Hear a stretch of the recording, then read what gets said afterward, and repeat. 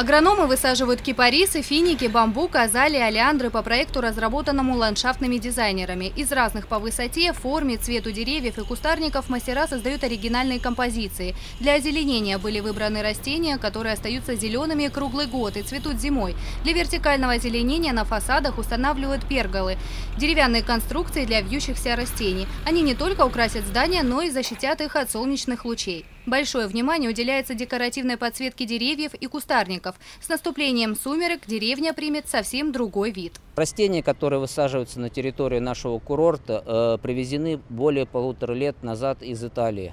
В течение всего этого периода времени они проходили адаптацию в питомнике, который был организован рядом со строительной площадкой. Таким образом, мы добились того, что деревья прошли районирование, они привыкли к нашему климату и э, с вероятностью близкой к 100% они не погибнут после того, как будут высажены в открытый грунт. Параллельно в Олимпийской деревне укладывают брусчатку из декоративных декоративных кирпичей. Всего предстоит замостить более 100 тысяч квадратных метров дорожек и площадок.